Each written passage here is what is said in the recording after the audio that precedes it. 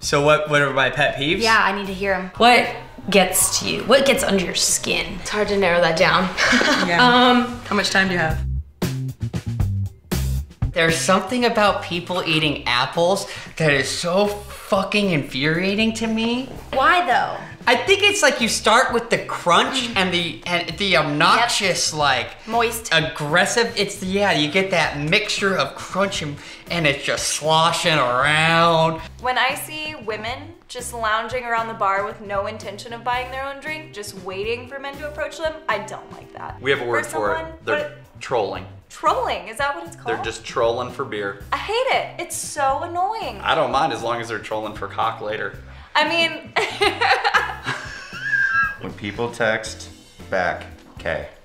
Really? I fucking hate that because then it takes me time to stop what I'm doing, pull out my phone. I'm like, Oh, that's a good point. do you need to really let me know that the message went through?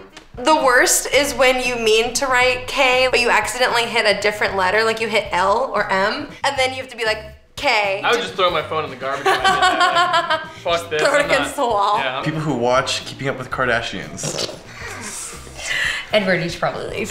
Yeah, I know. I gotta get out of here. I gotta know what Kylie's up to. I really, really hate when people are too lazy to change the toilet paper roll. Oh, it's dude, insane. that's just- Not only do they have an empty one on the roll, but there's another empty one on top of the roll, And and like stacked, and- yeah, and, and then then like. A, the actual toilet paper is like on the ground, getting covered in like dirt and cobwebs. I'm like, I don't want to use that. on a plane if I'm like earmuffed up and I'm watching a movie, the person that's like, "What are you watching? What are you watching there? Oh, hey, what are you gonna drink? Hey, what, what, are, you, what are you doing on a plane? This is my first plane ride." What's a pet peeve that you think someone would have of you?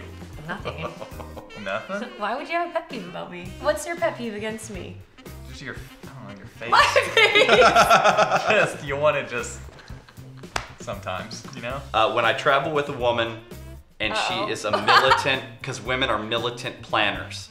They want to know what the next thing on the vacation is. Uh, uh, we're already rappelling down a waterfall. Is this not enough for you? You think I wanted to rappel down a waterfall? And you were like, well, what, are we ziplining next? Okay. You're fucking ziplining next. People smacking while they chew their food, and then I associate that with the with the M word, the You- M O I S T. Oh. The association with smacking your lips You and that word and the The word moist.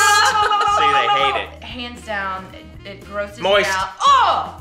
people who are nice to the server and then tip them bad because they think, oh, I was so nice to this person, I can go ahead and tip them whatever. If you come in and you're a patron and you're an asshole and then you don't tip, good on you. Yeah. Because you're an asshole. Because you're an asshole. We saw that one coming down the line. Really hate it when people categorize pterodactyls as dinosaurs, because they're not. They're They are not. reptiles. They are not. Right I mean, here.